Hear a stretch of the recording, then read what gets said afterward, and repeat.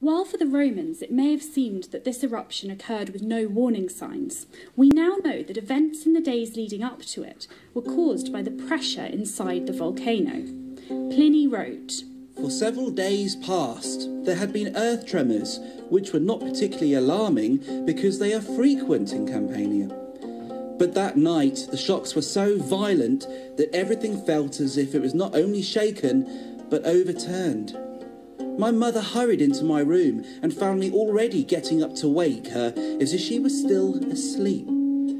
By now, it was dawn, but the light was still dim and faint.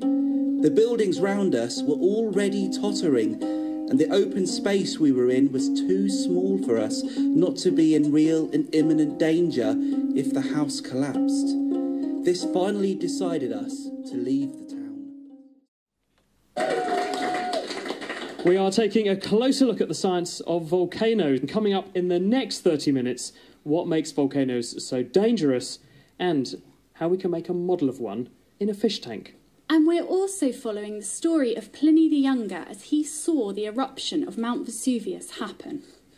In a second letter, he describes what he and his mother experienced as they tried to escape the city while Vesuvius continued to erupt. Ashes were already falling, not as yet very thickly. I looked around. A dense black cloud is coming up behind us, spreading over the earth like a flood. Let us leave the road while we can still see, I said, or we shall be knocked down and trampled underfoot in the dark by the crowd behind. We had scarcely sat down to rest when darkness fell. Not the dark of a moonless or cloudy night, but as if the lamp had been put out in a closed room. You could hear the shrieks of women, the wailing of infants, and the shouting of men.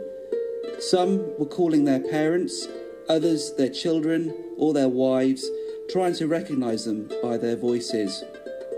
People bewailed their own fate or that of their relatives and there were some who prayed for death in the terror of dying. Many besought the aid of the gods, but still more imagined there were no gods left, and that the universe was plunged into eternal darkness for evermore. A gleam of light returned, but we took this to be a warning of the approaching flames rather than daylight.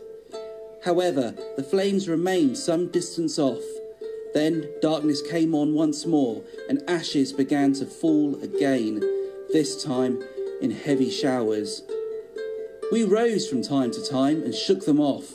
Otherwise, we could have been buried and crushed beneath their weight.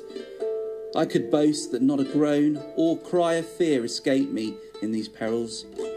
But I admit that I derived some poor consolation in my mortal lot from the belief that the whole world was dying with me, and I with it.